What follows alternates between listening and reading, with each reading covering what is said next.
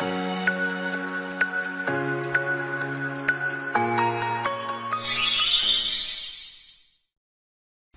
い、えー、こんにちは、レトスの小野です。えー、6月22日の3問に入る前にアドバイスをさせていただきます。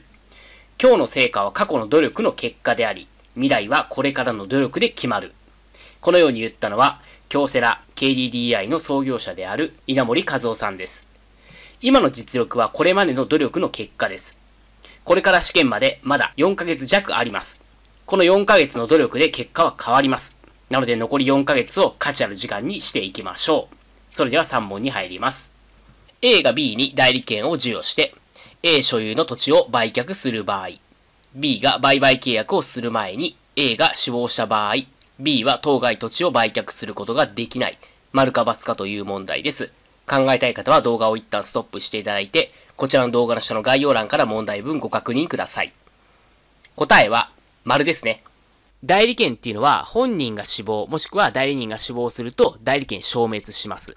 今回の問題で言うと売却前に本人 A が死亡してます。そのため B の代理権は消滅するので B は当該土地の売却をすることができません。まあ、この問題は代理権の消滅自由についての問題なんですね。で、代理権の消滅自由は死亡以外に破産手続き開始の決定だったり、貢献開始、解約告知があります。で、お持ちのテキストにはおそらく表になってるんじゃないのかなと思います。ただ、えこの表をですね、すべて覚えるのって正直厳しくないでしょうかだいぶきついと思うんですよね。内容的にも、量的にも多いからです。覚えようと思っても、その時覚えた気持ちになっても2週間経てば忘れてしまいます。まあ、これが不合格者の典型例なんですね。ではどうすればいいのか。理解をすればいいんですね。理解をすれば忘れにくくなります。で、まあ、今回ね、あの、理解の仕方までお伝えできればと思ってるんですが、やはりちょっと、えー、解説長くなっちゃいますので、この点については短期集中実力アップ講座で解説させていただきます。で、問いにですね、え宅地建物取引士の登録を受けている者が本籍を変更した場合、地帯なく登録をしている都道府県知事に変更の登録を申請しなければならない。丸か×かという問題です。答えは丸ですね。え本籍を変更した場合っていうのは、変更の登録申請が必要になってきます。この取引士の本籍は取引士資格登録簿の搭載事項なんですね。なので変更があったら、地帯なく変更の登録申請をしなければならないということです。で、資格登録簿の内容については、えこちら3つですね。これ覚えておきましょう。え住所、氏名と本籍と勤務先の宅建業者の、まあ、称号だったり名称ですね。まあ、こういったところはちゃんと頭に入れておいてください。で、問い3ですね。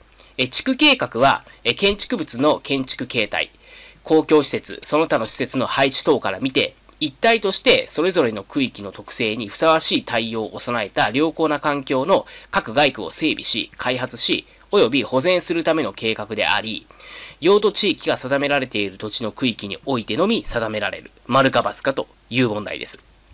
え答えは、誤りですね。用途地域が定められている土地の区域においてのみ定められる。ここが誤りです。用途地域が定められていない区域についても、地区計画を定めることができるからです。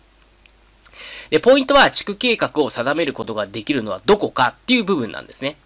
で、地区計画を定めることができるのは、以下の2つの区域です。1つ目が用途地域内。もう1つが用途地域外でも一定の要件を満たす区域。この2つなんですね。したがって、用途地域が定められている土地の区域においてのみ定められるっていう部分が誤りだということです。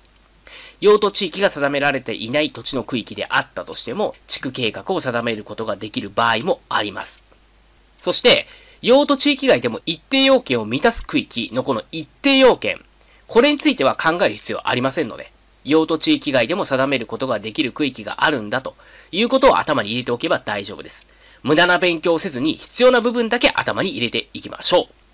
宅建試験にたった3ヶ月で一発合格した宅建講座をご紹介します。